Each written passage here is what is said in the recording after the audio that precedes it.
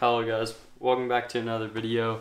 Today I've got something a little bit different for you guys. I'm going to be doing a tackle warehouse unboxing and a Q&A. I posted on my Instagram story um, earlier and was like, hey guys, ask some questions that you may have for me or whatever about anything hunting related or something like that. So anyway guys, hopefully you enjoy. Um, let's get into it. But by the way, I just got out of shower, so my hair looks kind of weird. But anyway, right here, tackle warehouse. You know, had to order some. You know, we're on this quarantine thing or whatever, so social distance, whatever you're gonna call it. Um, but yeah, stay safe, guys. Hope you're doing good. Let's crack this bad boy open. Um, trusty Kershaw. And let's see. Hopefully you guys can see that.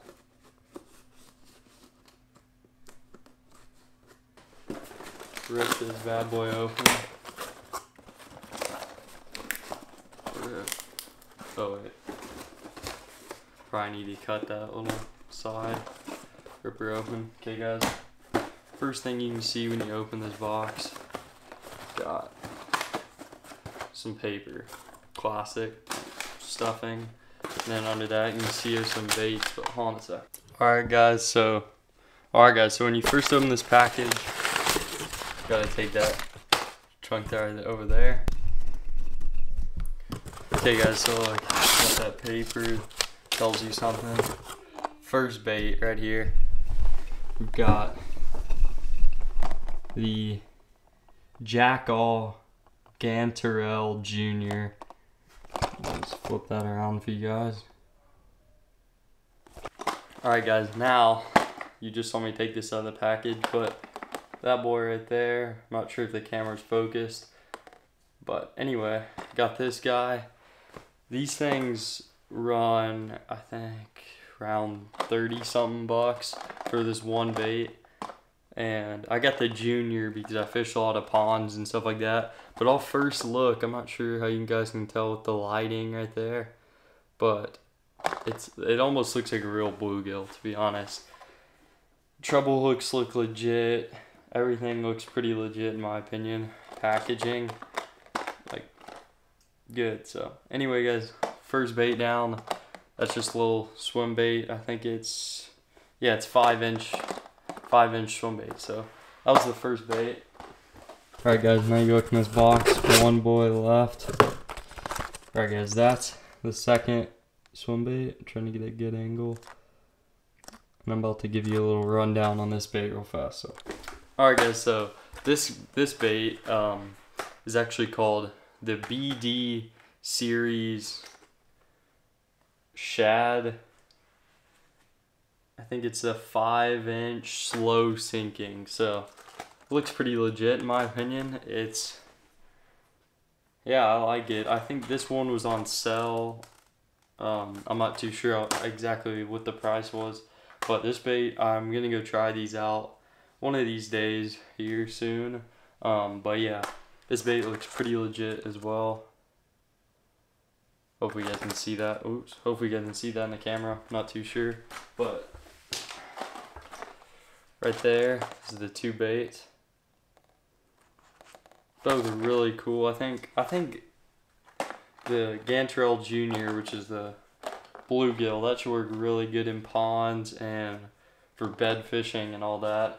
And this is more like what I bought for the lake. Which right now, guys, my favorite big swim bait that I like to throw is the River2Sea S Waver and the You Know It pattern. So guys, check that swim bait out. I think I'll, I'll put a picture up on the screen right here of a bass that I caught on that. And hopefully these work just as good, if not better, than that guy. So anyway, guys, let's get into the Q&A and there's a lot of questions waiting, so I'm gonna try and go quick with them and get through everybody or most of them. So enjoy. Alright guys, so now that I did the unboxing from the Tackle Warehouse baits, um, I'm about to crack into a Q&A, so one sec. Alright, let's pull up the old iPhone here and look at my Instagram, which by the way, I'll probably drop in the description below if you guys want to go follow that or whatever. But anyway, Let's look at this. We'll start with the very first question that I have on here. So, very first question that was asked was for my buddy Wes. Actually, he goes to a school near me. He says, "Dream animal to kill with a bow." Um, my dream animal to kill with a bow probably would be a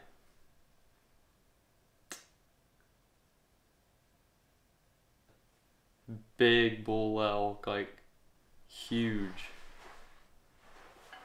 I'm not sure. Public land, DIY, big bull elk, or something in Africa, like I don't know, probably like a water buck, something like that. A warthog is also one on the list. But yeah, those are some of the things. So, Wes, there's your answer. Um, all right, guys. Next question. My old buddy Case. He says, "What is your favorite thing to sling arrows at?"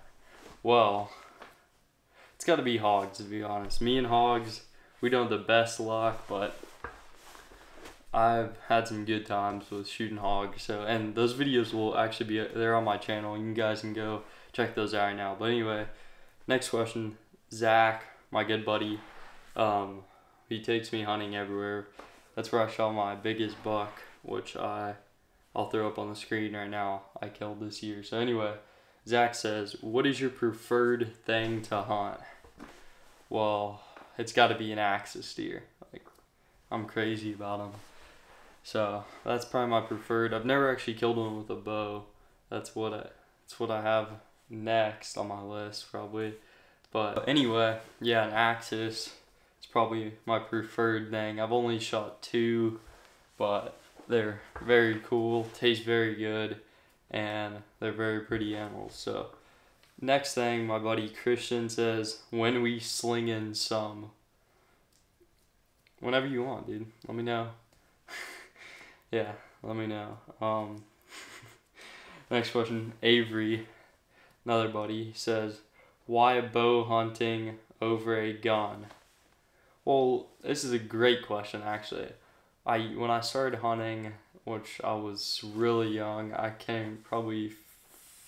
I probably went hunting when I was four or five, or maybe even younger with my dad, and I was always a rifle hunter probably till I think sixth or seventh grade. I picked up, I went to a local bow shop, bought a Parker, and shot my first bow or my first bow kill, which was a doe, and that just got me hooked. Like it's so thrilling to be like 20, 30 yards from an animal, and them have no idea you're there. So that's that answer. And then he also says, why fly fishing over regular fishing? Um, I feel like the bow hunting and fly fishing go together. They're both a challenge of the sport, and that's why I like it. Flies, you're tying your own. Like my buddies, they all tie flies for me and everything like that. So it's just cool to catch fish on something that you know it's you or your buddies tied. So that's a good reason for that one. Next question, my buddy Eric from Eric Coon from the coast. Actually, we need to go fishing soon, Eric. Let me know. But anyway, that's what his question involved actually. When are you gonna come down and slay some trout? That's gonna have to be this summer, dude. Cause I know my boy Eric knows the spots down there, and hopefully we're gonna rip some limits. So yes, Eric, that will happen for sure this summer. Um, my old friend Kylie says, "Want to hang out and teach me to, how to hunt, and we can go fishing." Sounds good. Let me know when. Um, Cammy, another friend, says, "When are you gonna teach me how to fish?" Whenever. I mean, it's pretty easy, but I'll I'll for sure teach you. Um, Slade says, favorite haunt so far. That's got to be the deer I killed this year with my bow. Probably, yeah, it's 100%. I hunted this deer for three years straight. Ever since I moved to my new school, I met my buddy Zach, and he's like, hey, dude, I have this deer that we named Layout. And ever since then, I hunted him for three years, never saw him. And then one evening, he came in like two minutes before I couldn't see anything. And I was like, I'm not going to rush the shot. So uh, after football practice the next day, I went straight to um, to go hunt him. And he came in, gave me a shot, and it was over. Craziest thing ever happened to me. And yeah, that's for sure my favorite hunt. So, um, yeah, that was crazy. Next question from Madeline. She says, funniest or best hunting story? Funniest? Probably.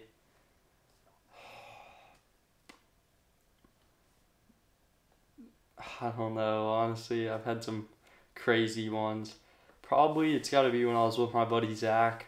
We were hog hunting the creek, which I think I have videos on the channel somewhere. Probably one of the recent videos, I think. But we were walking the creek, and he, none of this was on video because it was pouring rain. And, um, sorry, I can't even think of now.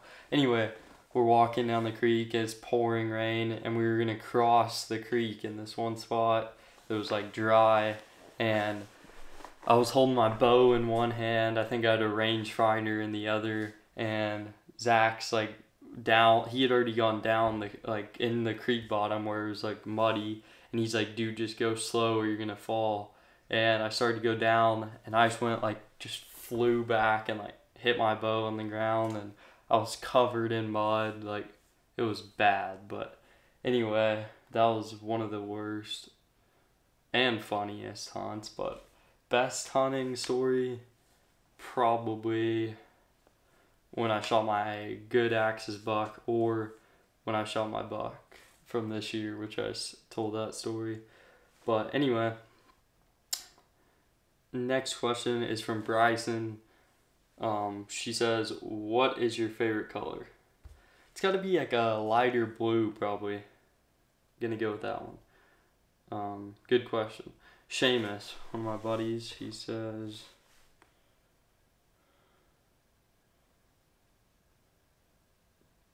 Yeah, Seamus, I'm not gonna answer that question. Um, Aiden, my Aiden, my good buddy, says, "What is one of your bucket list haunts?" For sure, I gotta say like a low fence axis buck that's just crazy, like a non-typical or something like that. And then another one probably being a caribou, which I didn't say this earlier. I wasn't really thinking, but a caribou's on my list. And I'm trying to think, there's something else. Probably a red stag in New Zealand. Another big list. Hot for me. Um, let me see my good buddy Shane that I used to go to school with says, "Do you like SV or Blanco better?" Great question. Love them both. I don't know. That's that's probably 50-50, honestly. Um, I think I've got a few questions left. I'm trying to get through most of them, but I'm just gonna do a few more. I don't want to bore you guys too much. So anyway, Brooke says, "How many spots were on your biggest axis?" Ha ha ha ha. Great question. I want to say probably 469 or something like that. Or 1069. I don't know, something. I'll have to look back in my notes and I'll let you know. But great question. Yeah. Okay, and then probably the last one. Everybody knows another one. This person says, um, what camera gear do you use? So guys, I run a Sony A6500 with a 18 to 105 millimeter lens on that and on top of that I have a Rode mic and I love that setup. It's brand new. I got it a few months ago and it's pretty killer. This it shoots like crazy slow mo and everything like that. So that's my camera setup. And then my good buddy Willie says, "What's your favorite bass lure and what's your favorite rod and reel?" So my favorite bass lure is probably Googan Baits Bandito bug or one of the jigs I tie with a Krackin Craw trailer for sure. Those two are killer, like always. And then favorite rod and reel, it's got to be a Falcon Bucoo rod. And like a 7.2 or something medium heavy.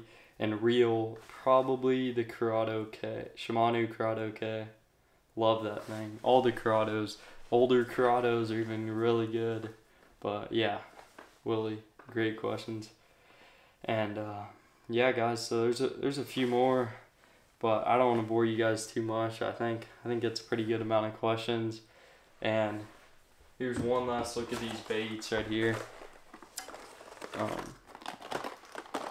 right there. So, Jackall Gantarel Jr. Um, yeah, that bait just looks so killer. And then the BD Boyd Duckett series 5 inch slow sinking shad. Both killer baits. Can't wait to try them out. Hopefully, you guys go to Tackle Warehouse, check them out, order some baits off of there. And, uh, yeah, especially during all this quarantine stuff like that, um, where you're supposed to be staying inside. You know, you're supposed to not go anywhere, so you can't really go to Bass Pro or Cabela's or local bait shop, wherever you get your baits. But check out Tackle Warehouse, that right there, and yeah, that's where I get most of my stuff. So, anyway, guys, if you stayed till the end, thank you so much for watching. I had a good time filming this for you guys. If you guys want more videos like this, let me know in the comments below and I'll try to do more unboxings and maybe a few more Q&As or something of that. Just drop ideas and subscribe if you're new. So thanks for watching. Hopefully you're having a good time during this corona, staying safe, and we'll see you next time.